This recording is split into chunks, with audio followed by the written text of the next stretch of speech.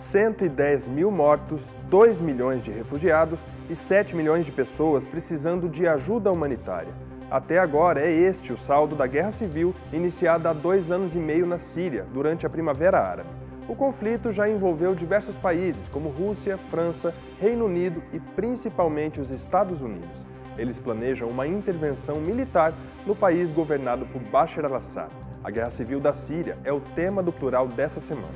Para falar sobre esse assunto, nós recebemos no estúdio o cônsul da Síria no Paraná, Abdo Abaj, e o professor de Relações Internacionais e doutor em História pela UFPR, Andrew Trauman.